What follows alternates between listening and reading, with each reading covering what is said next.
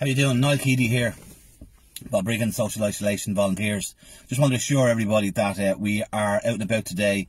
and we are able to do uh, your messages and your shopping and any anything you need help with. Uh, we're available. Uh, the best way to get us and to arrange something to get done is to send us an email.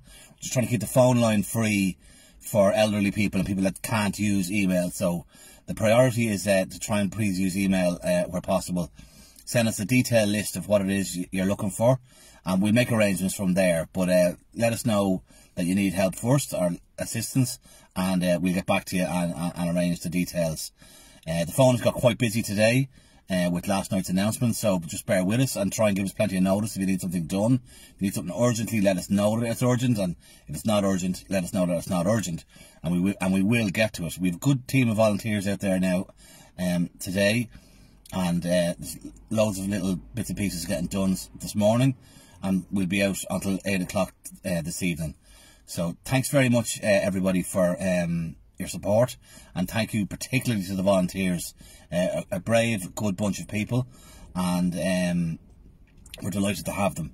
So, uh, as I said, bear with us. There's, there's, there's, there's no panic. There's no rush.